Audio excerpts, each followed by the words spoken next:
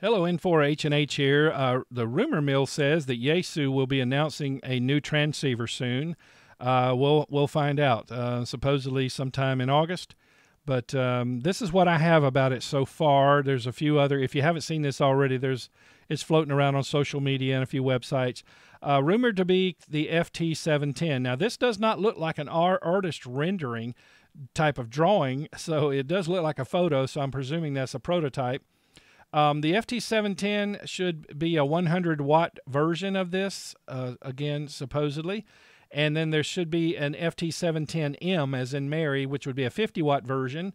And then, uh, and I'm assuming that might be for countries where they have a limit on their power. And then a 10 watt version, which would be FT710S Sierra, or for folks like me, SOTA. Uh, because the, if the 10 watt version is what I'm what I would hope, look at my mouse here, would be maybe cut off right along in here. It wouldn't have to be as big because it's not producing 100 watts. Uh, that would be ideal for SOTA. Now, what would even be better is if it has an internal tuner. Now, if you look over here on the left, it looks just like an FTDX. By the way, look, it's screaming FTDX10. All the way down here on the left is FTDX10. It's got power, tune, Vox Mox, headphones, mic jack. So I do see a tune button here on this 100 watt model we hope there's a tune button there on the 10 watt version, which would be great.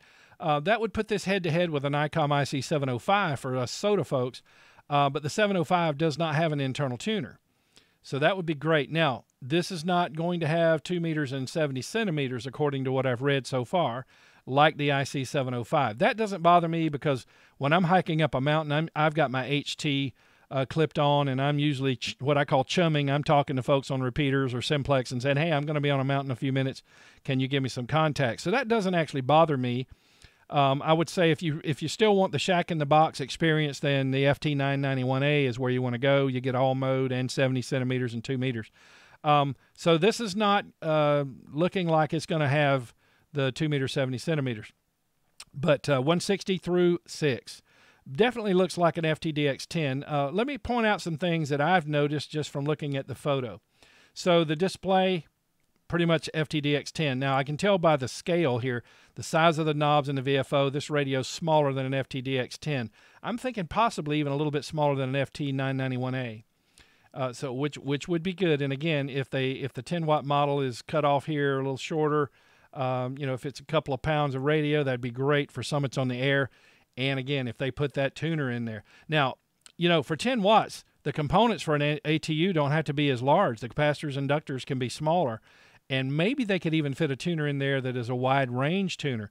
You know, most of the tuners that you get in your radios today are what we call, a, what I call a touch up tuner. You know, your antenna's already close, less a three to one or less, and then it can, uh, you know, bring you down to a one to one, uh, 1.1 to 1, 1.05 to 1, you know, what have you. But, um, the uh, wide range tuner would be great if they can fit that in there in the 10 watt version. Again, just assuming they would even have uh, this button on the 10 watt version that does the tuning. Now, the display, I'm just going to say right quick, looks like FTDX10. Even has the 3D uh, spectrum scope mode, has the oscilloscope, has the AFFFT, that's audio frequency fast Fourier transform. Okay, it's a big word, but uh, to say that we can monitor audio here, ours and people we're listening to and I've shown that here on the channel in some videos. Uh, so really, other than that, it looks identical to a FTDX10, but there is an exception. Watch closely. I'm going to work my way from attenuation. That's on the FTDX10. IPO. That's on the FTDX10. Ro- roofing roofing filter is not there. Look, digital notch filter (DNF). Um, so that's interesting. So number one, that is one of my criticisms of the FTDX10. The DNF, the digital notch filter.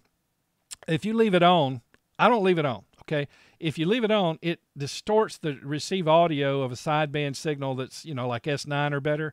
Um, has a tendency to distort those. Now, if you've got yours left on, you may not notice that. You might just think that's just the way they sound, or that's the way, you know, it's just the small speaker in the radio or whatever. Uh, try turning the DNF off if you've got yours uh, turned on. It, it is default, or I should say by default, it is off, but some people just automatically engage it and leave it on. Like I said, it's Yaesu speak for auto notch. The one in the FTDX10 introduced distortion, especially on stronger signals. So I just leave it off. If I need notch, I just use the manual notch. So it's interesting that they've replaced roofing filter with that. Well, let's talk about that. Where's the roofing filter? You know, it could be like the FT891. It has one 15 kilohertz uh, roofing filter, crystal, you know, physical roofing filter in the front end, and uh, and then the DSP takes care of the rest. And it does have some mighty fine DSP. Uh, still one of the most fun CW rigs, and I, I I've used mine for to make it all the way to Mountain Goat and beyond. For summits on the air, my 891 has just been a beast.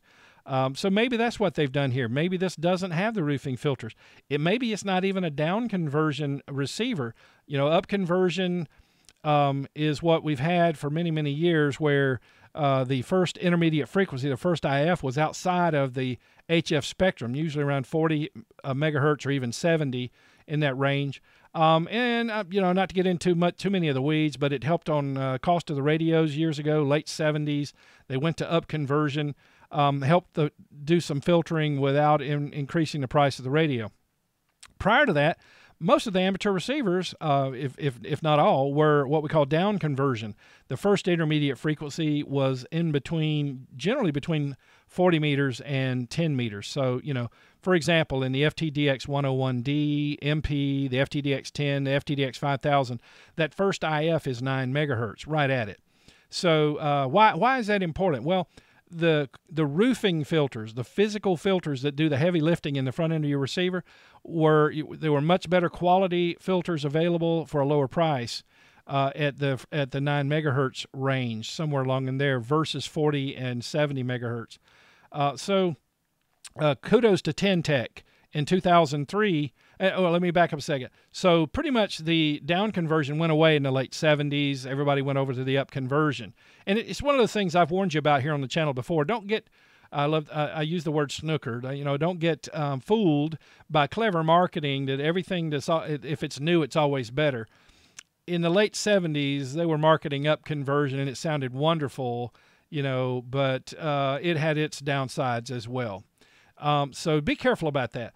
The down conversion, again, gives us the physical roofing filters that are sharper, better quality, and uh, not as, ex- as expensive as one would cost for 40 megahertz and 70 megahertz. So, what I'm wondering is is this a straight SDR?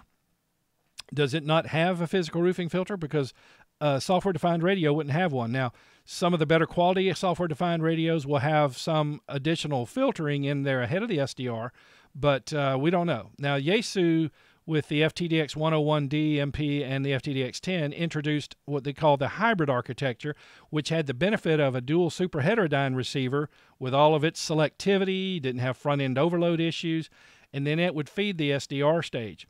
The SDR stage was giving us the beautiful readout here, uh, like on the FTDX 10 and, and the 101s. So we don't know, just not sure. It maybe it has uh, dual conversion and it's just one uh, like I said, maybe like the FT9 uh, 891 with 115 kilohertz wide uh, roofing filter, and then you rely on the DSP to do the the rest of the filtering. Just uh, we'll have to find that out as time progresses. Hey, do me a favor, uh, subscribe to the channel and click that notification bell. And as I update information about this radio, you won't miss a video about it. Uh, so again, subscribe to the channel, click that notification bell, and but for that matter, by the way, share the video with friends that you think might uh, might be interested in knowing about this. Uh, social media, email, text message, what have you. So anyway, back to the radio. Let's work our way over here to this area, the where the knobs are, because uh, on the as far as the display is concerned, that's the only thing that stands out uh, to me as being different than uh, on the FTDX10. So uh, obviously, the knobs seem to be in the same place as an FTDX10, but let's take a closer look. Function, mm, that seems to be correct. There's a little curious thing about the function knob, these little notches here. Have to find out more about what that is later. Uh, but look at this. This is not volume and RF gain like it is on an FTDX10. Now, uh, on the FTDX10, you have what we call ganged, as in like a motorcycle gang, ganged potentiometers, which means you have a knob and then you have an outer ring. So on the FTDX10, that's volume and RF gain, which can also be um, in, switched over to squelch if you go into the menu. But the function knob's in the same place. This has now been reassigned to step, MCH, and looks like DSP. So uh, you have step and MCH on FTDX10, but it's some knobs up here, and then the outer dial does it. So it looks to me like this is going to be used for the step and MCH. So step, some incremental tuning, MCH is cycling through your memory channels if you've programmed some in. Now remember, Yaesu programs the 60 meter channels already.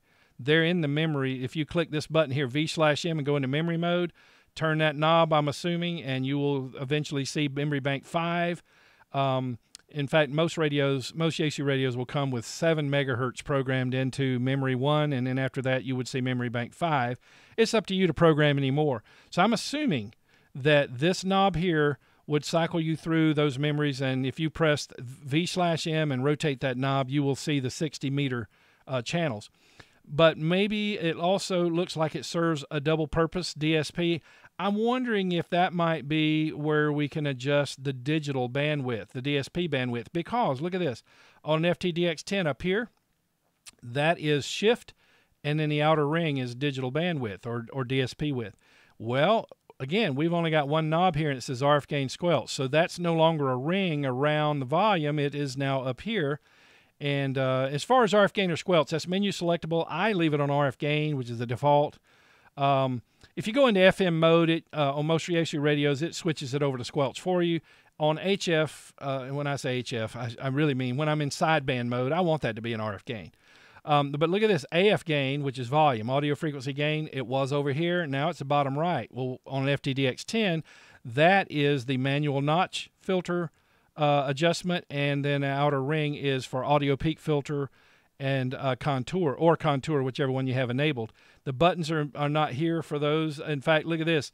Digital noise reduction on FTDX10 is a button down here above volume. It's been moved up here. A bigger, uh, looks like a rubberized type button.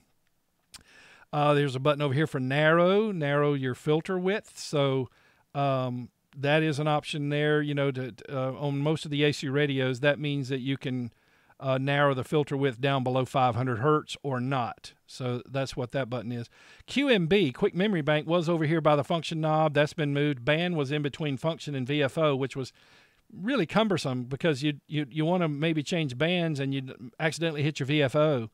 Um, I've been asking Yaesu for over a year to give us a right click option up here over frequency and uh, and bring up the band uh, screen and let us choose band the same as we can when we choose uh, mode over here. It pops up the mode screen because on the FTDX10 over here you had a mode button. Well, you could click it with your mouse or your finger here where you see LSB and change mode with a, the same pop-up. Well, but we can't change bands by doing anything here. So that would have been nice um, to have on the FTDX10. I just think that maybe the firmware update could do it, but hey, you know, it's been over a year now and I haven't seen it.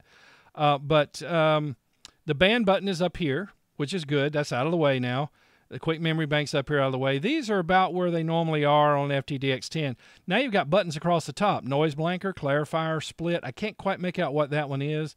Um, that one looks like mode. I believe that may be mode, um, which was over here about where uh, the narrow button is. But, uh, you know, we'll find out in some future updates. We don't know whether these are backlit. A lot of complaints uh, from customers about the FTDX10 not having backlit buttons like the FT891 and the 991 and the 991A. So, uh, uh, you know, we, we just have to find out in time whether Yaesu paid attention to their customers or not. Those of you who watch my channel very much, you know, I'm just going to give you the straight scoop, like it or not. I'm not trying to protect any particular manufacturer. I don't get any uh, support from them. So I have been critical of Yaesu in some areas because I think that they get so close to perfect and then they they miss in some obvious areas. Uh, not backlighting that was one, uh, but even some bigger ones like okay, give us mouse control, but don't let us select band, don't let us click a frequency and use the scroll to go up and down to change frequency. You know, they get really close and then they fail in a in to me a, a simple uh, area. So I will just say if Yaesu did not backlight these, they're not paying attention to their customers. And if they didn't make the 10 watt version of this, you know, cut off about right here and have an internal antenna tuner, they're not paying attention to their customers. But there you have it, the FT710. Uh, again, it's a rumor right now. Um, the photo has been leaked, obviously, probably strategically, let's be honest. Um, but, uh, you know, it's exciting to see what might be might be on the horizon here for the, especially for those of us who are involved in summits on the air want a portable rig, POTA as well. Um, but at least with POTA, you don't have to hike up a mountain with a hundred watt rig. The uh, but we'll we'll see what happens as far as that is concerned, and um, you know, and also regarding that internal tuner uh, or not. So. Uh, hey, I want to shout out to the Patreon team who bring you these videos. Without them, this channel does not exist. So I uh, really value their support and uh, want to thank them for bringing this uh, video to you because it is brought to you by the members of the Patreon team who support N4HNH Radio. If you'd like to join that team, uh, go to www.patreon.com forward slash N4HNH. That's patreon.com forward slash N4HNH. And hey, if you've watched the video this far, let me show you a bonus there's a photo out there that shows a display behind this. So, you know, the FTDX10 can directly drive an external monitor. It's a DVI-D connector on the back. Now, some people complained about that. Why didn't they use HDMI? I speculated, it's just a guess, that maybe Yaesu got an extremely good deal on a warehouse full of DVI-D connectors. Um, because really, in all in all honesty, the amount of resolution needed to drive that monitor is not much. Even DVI-D would be overkill. Uh, but who knows? Uh, maybe they were, um, you know, listening to their customers again, and they decided to put an HDMI output for the external monitor. We just don't know for sure. So there's a little bonus for those of you who have watched the video this far. Um, hey, please consider, like I, like I asked um, a lot, uh, like the video, click the thumbs up. That helps me out with YouTube tremendously. Please, just please do that. Um, it's it's almost like a penalty if I don't get the enough of the likes. And then also consider subscribing to the channel. Click the notification bell, and you will be notified when I upload a new video, which is generally one a week, sometimes two a week. And uh, and of course, like I said, please share the video with friends via social media, text message, email, what have you. And uh, hey, again, thanks for watching. And 73 from N4HNH.